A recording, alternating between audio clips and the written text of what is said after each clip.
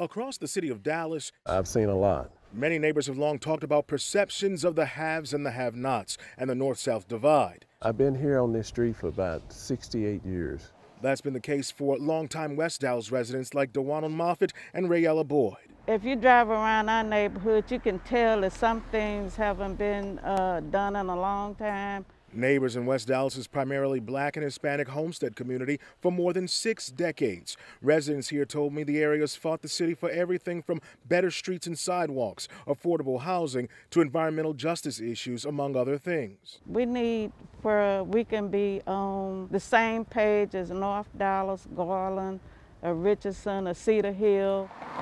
A racial equity plan is something some Dallas city leaders have been pushing to adopt for more than a year a citywide strategy designed to level the playing field, and one that would address disparities that have negatively and historically impacted lower income neighborhoods and communities of color.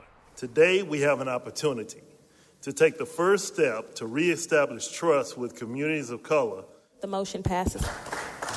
Dallas City Council voted on its racial equity plan during a meeting that became controversial at times on Wednesday. After a record vote of its 15 members, the only person voting against approving the racial equity plan was North Dallas Councilwoman Cara Mendelsohn. Most of the items that are talked about in this plan are actually basic city functions that we should be um, already providing.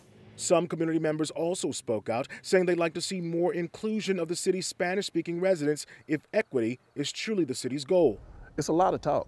Back in the Homestead neighborhood, Moffett and Boyd say they'll remain optimistic, especially if the plan means positive change. In Dallas, I'm Demond Fernandez.